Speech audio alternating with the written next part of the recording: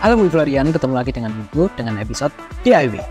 Kali ini tidak berupa barang bekas ya, tapi bikin terrarium. Terrarium ini, ini sering kalian lihat di toko dekorasi atau tanaman hias. Kita lihatnya indah banget bukan? Nah, kali ini Ibu mau mengajak kalian untuk membuat terrarium ini. Gimana sih proses pembuatannya? Yuk simak videonya sampai akhir. Untuk membuat terrarium ini, Mi Florian memerlukan beberapa bahan, yaitu menggunakan pasir malang, kumis, batu hias kecil, batu hias besar, dan yang pasti adalah pot kaca ukuran 20. Nah, jangan lupa juga siapkan alatnya. Skop mini, pinset, dan sarung tangan agar lebih safety. Kali ini Minfu mau membuat terrarium dengan desert look. Untuk jenis tanamannya ini bebas ya apa aja.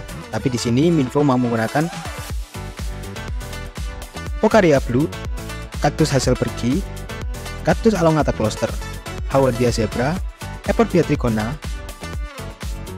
kaktus bayonensis. Jangan lupa juga sesuaikan ukuran tanaman dengan pot kaca yang digunakan ya. Langkah pertama kita masukkan batu hias yang ukuran besar sebagai pondasi terrarium dan hal ini membantu drainase. Bagian pondasi ini harus di atas secara rapi agar penataan media tanam dan tanaman di dalam terrarium sesuai komposisi. Setelah itu, masukkan kain tila yang sudah kita ukur tadi sebagai penyaring dari media tanam dan batu hias besar. Nah, masukkan pasir malang sebagai dasar media tanam terrarium. Pasir malang memiliki porositas tinggi sehingga dapat menampung air dan nutrisi di dalam jumlah yang cukup untuk kebutuhan tanaman. Apalagi dalam terrarium seperti ini. Jangan lupa untuk meratakan pasir malangnya ya. Setelah itu masukkan kumis untuk bagian atasnya.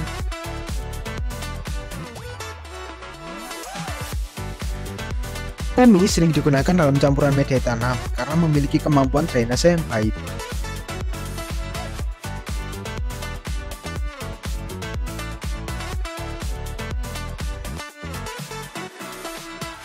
Ini membantu mencegah akar dari kelembapan berlebihan yang dapat menyebabkan pembusukan akar. Ratakan pumisnya juga. Setelah media tanam rata, kita bisa mulai memasukkan tanaman. Yang pertama, Eporbia trigona. Karena memiliki karakteristik yang tinggi, tanaman ini cocok untuk diletakkan pada bagian belakang.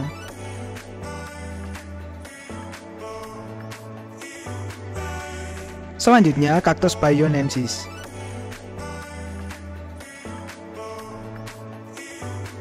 Kaktus ini sama dengan Eporbia trigona sehingga cocok untuk diletakkan bagian belakang. Setelah bagian belakang sudah tertata, bisa kita tambahkan tanaman mini di depannya, seperti Howardia zebra, kaktus hasil pergi, dan Pokaria blue.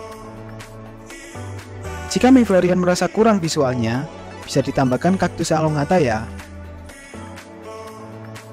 Pastikan akar tanaman itu tertutup oleh media tanam ya.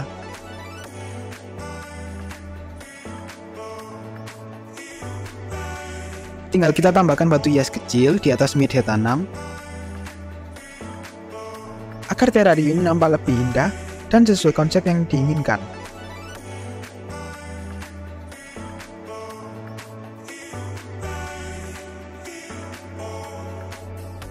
Untuk pemanisnya bisa kita tambahkan batu hias yang berbeda, tata sesuai keinginan Miflorian ya. Selain sebagai dekorasi, batu hias ini sebagai tempat penyiraman agar media tanam tidak langsung ikut mengalir ke bawah. Untuk finishing, bersihkan bagian atas dan luar gelas menggunakan kain atau tisu seperti ini ya.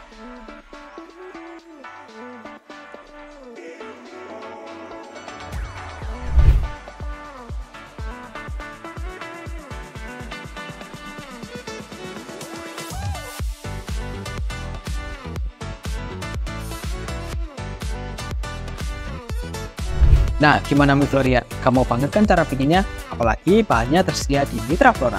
Bisa kalian beli secara online atau offline. Selamat mencoba di rumah. Jadi jangan lupa subscribe dan nyalakan lonceng notifikasi biar nggak ketinggalan video menarik lainnya. Tungguin info di video selanjutnya ya. Sampai jumpa.